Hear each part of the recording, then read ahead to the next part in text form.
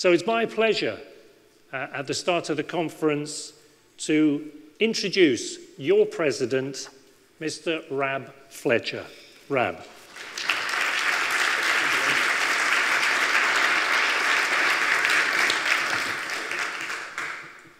Good morning. I wasn't expecting such a quick intro. I thought it'd be a wee bit longer than that. So, um, ladies and gentlemen, um, welcome to the BESA National Conference 2022.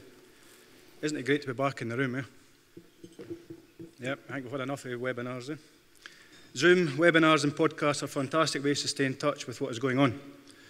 But sometimes there really is no substitute for being in the room with colleagues, friends, and competitors. Anyone who isn't here today may well have missed a key conversation or chance meeting that can change their business. And they won't have heard or engaged with our wide field of experts from across the industry and beyond. As David likes to say, they won't know what they don't know. Today, we are unpicking what it means to bring buildings to life and make our built environment fit for people, fit for purpose, and fit for life. We're extremely grateful to all our speakers for giving so generously of their time and expertise, and to our headline sponsor, Mitsubishi Electric, for making this event possible. The fantastic support we received from all our sponsors, affiliates, and exhibitors, along with the high volume of early bookings for tonight's BESA National Awards, meant we were able to make registration free to our members and the clients of BESA Group companies. It was, great to give, it was great to be able to give something back to our members at this difficult time. And we're also making a £10 donation to the mental health charity Lighthouse Club for every delegate here today. So thank you again for coming. I'd like to give a, a big vote of thanks to Charlie Piermont and our team for putting together an amazing programme with the considerable support of the advisory board, which was a very successful innovation this year, although she did forget to book me a room, funnily enough. Having the expert input of members and industry colleagues at the very start of the process made a great difference and is why we have such a varied programme and wide range of speakers, able to focus on topics as crucial and diverse as the skills we need to address building safety and sustainability making buildings resilient to health threats, the politics and practicalities of net zero, what building engineers will be doing far into the future, how the economic uncertainty is affecting building engineering firms, improving diversity and opportunities for young engineers. Professor Kath Oakes, OBE, will deliver the keynote address after lunch. That is one that is not to be missed. This conference is taking place at a crucial time for the UK and for the industry. BESA has been around for almost 120 years, so it's fair to say that we've seen plenty of crises come and go. But is this year different? We have an energy crisis, cost of living crisis, a climate change crisis, a building safety crisis. You get the picture. Eh? However, out of all this gloom, we, we can take some encouragement. Many of us have been arguing in favour of, of energy efficiency, of the need to conserve this precious resource and reduce demand to minimise the environmental impact for years, but it's hard to get clients to invest. Now the financial argument has changed. Energy bills are a major worry for everyone and central to the cost of living crisis. And the war in Ukraine has pushed energy security to the top of the worry list. While politicians are looking for quick fixes and short term sticking plasters, our industry will be central to efforts to put this right for the long term. BESA is pushing hard for a fully funded national programme of building retrofits. Not just better insulation, but using all the engineering tools at our disposal to make buildings perform better. Better heating and cooling technologies, better building envelopes, better control systems, the works. This is also the best and most cost effective way to reduce carbon emissions in line with the net zero targets. Retrofit is not the whole story, though. We need to look at reuse as well. The pandemic has had a huge impact on how commercial buildings are being used. Research from the property industry shows that two thirds of deaths in the UK are regularly unused. And even on the busiest days, offices are more than half empty. People are now coming into the office just 1.4 days a week on average. compared with nearly four days a week before the pandemic. This is both an opportunity and a challenge. It can no longer be business as usual for the way building services are managed and operated. We need to seize opportunity to take a more flexible approach that can deliver financial savings and reduce energy use and carbon emissions. And by being more adaptable, we can meet some of our social goals. How can it be acceptable for valuable indoor spaces to be empty or sparsely used when we have a huge shortage of quality homes and facilities for large parts of our population? Buildings must be adapted to deal with the effects of climate change, not least overheating. That is an area where BESA members have a huge expertise and can make all the difference, and where we can help educate politicians and end users who maybe find this hard to grasp. We are all grappling with inflation and rising costs, but as building services engineers, we are lucky that we can do something about them.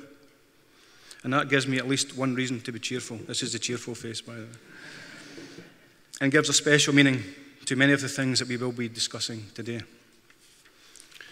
It's going to be a busy day, so I'll get off the stage and let you get down to business and networking. It's great to see you all back in the room today, it truly is. Have a great conference, and I look forward to seeing many of you again at our closing session and then at the National Awards this evening. So thank you very much, have a great day, and I'll pass you back to David. Thank you.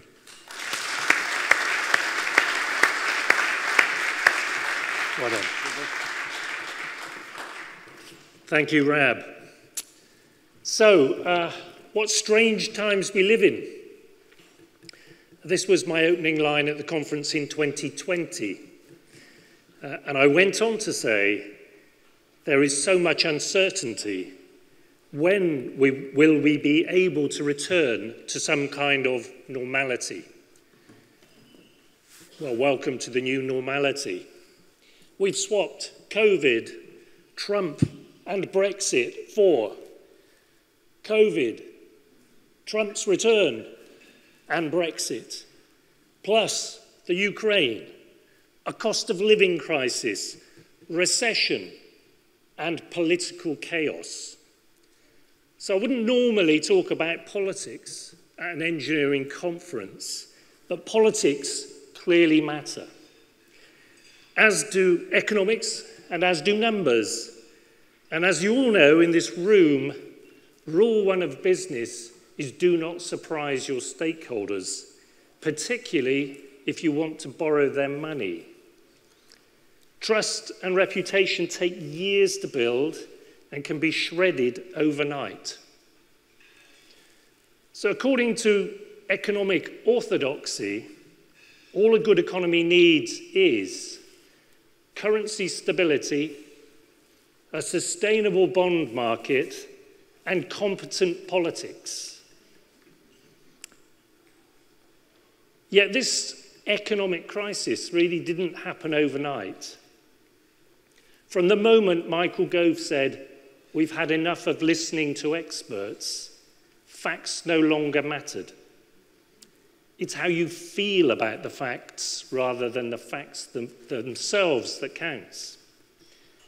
So that's, of course, uh, errant nonsense. But it means you can turn economic orthodoxy on its head. You can hollow out and undermine the civil service, for example, and the courts, upon which the UK's reputation for good government has been based.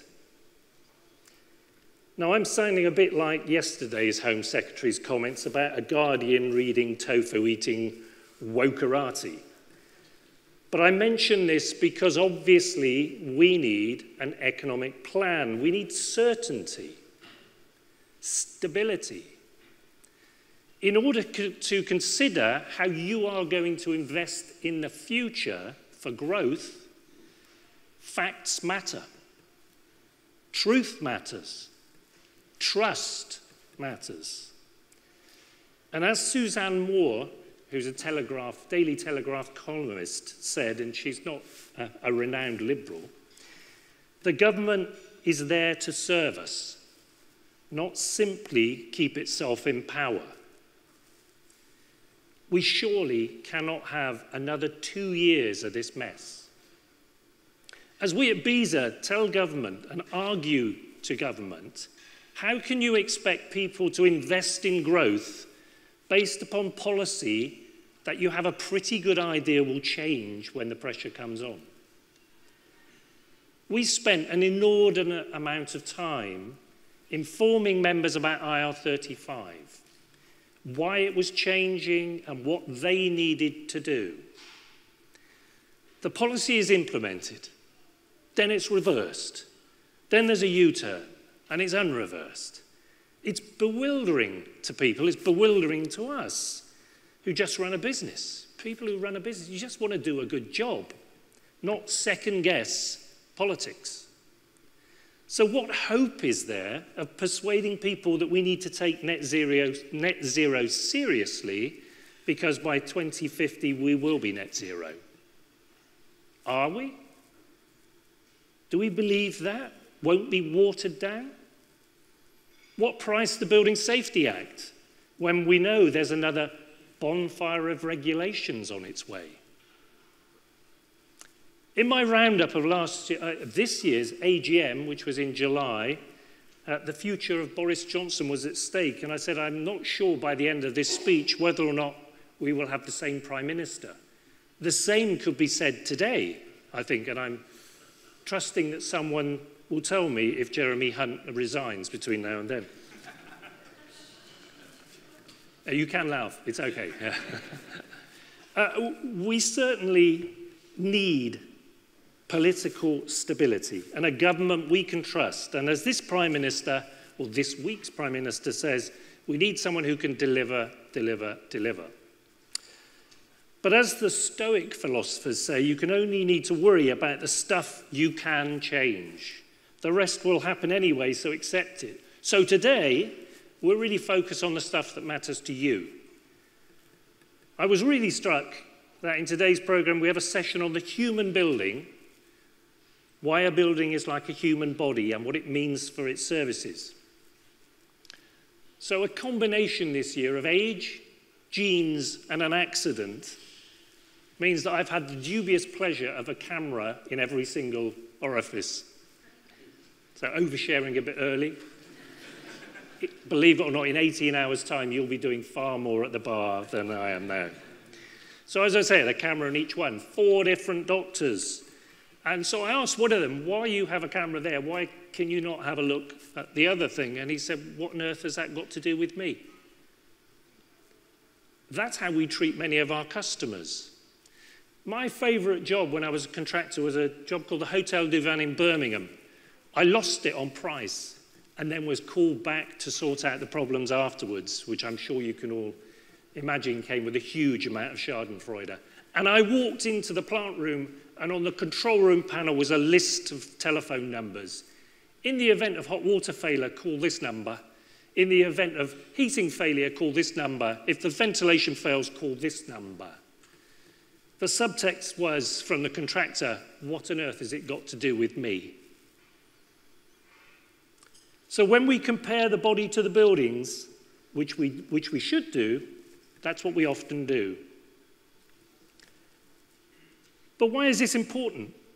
Because buildings and bodies are holistic, integrated systems, not parts assembled to look like the design. What we should, and you will see what we are focused on today, is work out how those systems as a whole perform, because that is what matters. It's important. And why are you important? Because 90% of us spend 90% of our time in a building. So the social good that results from good building engineering services is massive. The well-being of occupants, both their physical and mental health, is significant. And we can also significantly mitigate the climate crisis through carbon reductions. So we are important. The current way we design and build leads to broken buildings, and I evidence that through the energy performance gap and Grenfell. But also broken people, this mad, hurry scurry, build and design process we use leads to two suicides a day in our industry.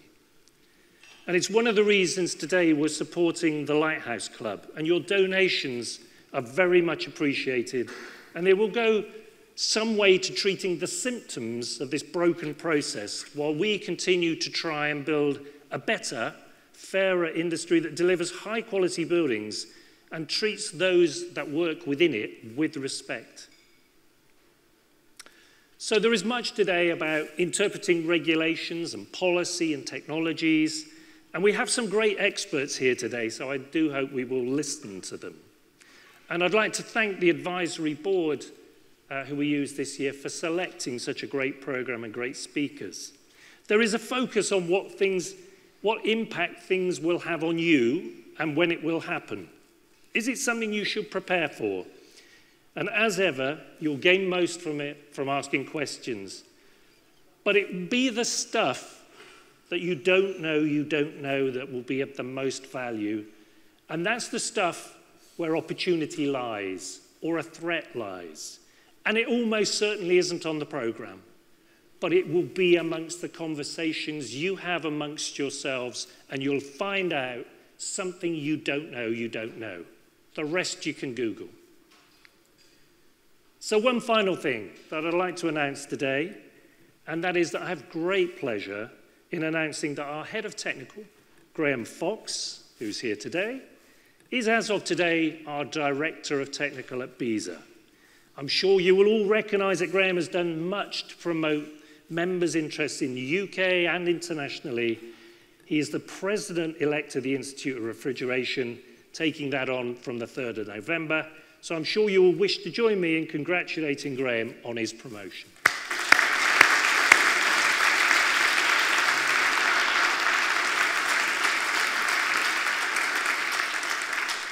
So, enjoy the day. Three theatres. Please participate.